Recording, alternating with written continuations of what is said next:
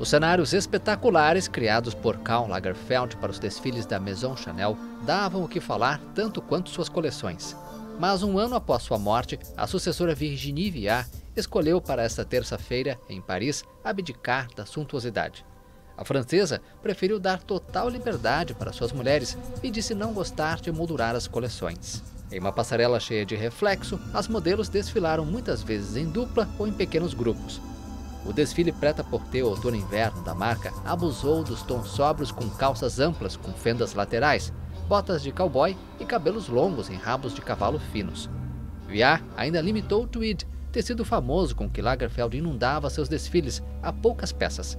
Pelo jeito, a Chanel respira novos ares.